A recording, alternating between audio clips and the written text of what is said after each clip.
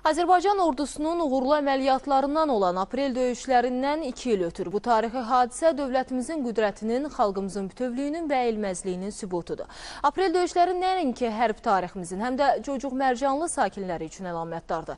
Məhz bundan sonra bu kənddə müharibənin izləri tarixə qovuşdu. Ermənilərin kabusuna çevrilən aprel döyüşlərində düşmənin ən çox güvəndiyi Ohanyan xəttini yarmaqla Azərbaycan ordusu nəyə qadir olduğunu sübut etdi. Lələtəpə yüksəkliyinin ələ keçirilməsi nəticəsində böyük bir ərazi Azərbaycanın nəzarət altına keçdi. O cümlədən Cocuq Mərcanlıda həyat öz axarına düşdü. Kənd yenidən quruldu və bununla da böyük qaydışın bünövrəsi qoyuldu.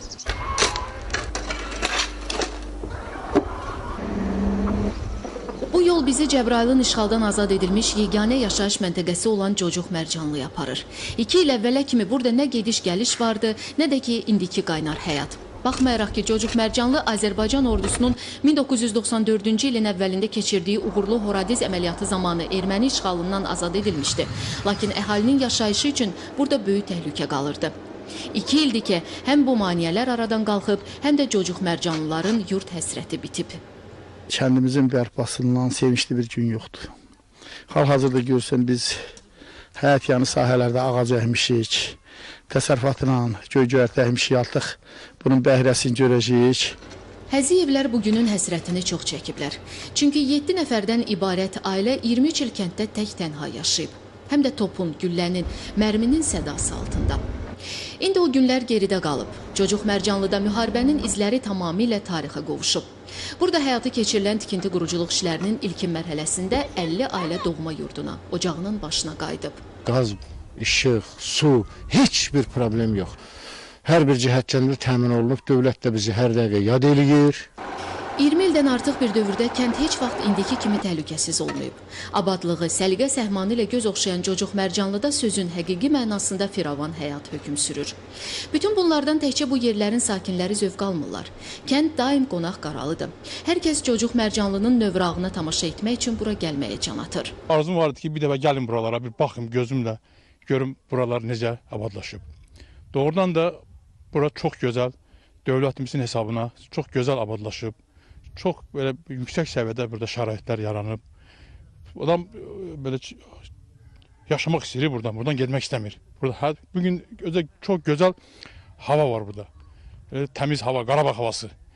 Cocuq Mərcanlıda insanların istirahəti üçün gözəl parklar salınıb. Həyata keçirilən quruculuq işləri isə bununla yekunlaşmır. Kənddə yeni-yeni infrastruktur layihələri həyata keçirilir. Görülən hər iş əhalinin rifah halının daha da yaxşılaşdırılmasına hesablanıb.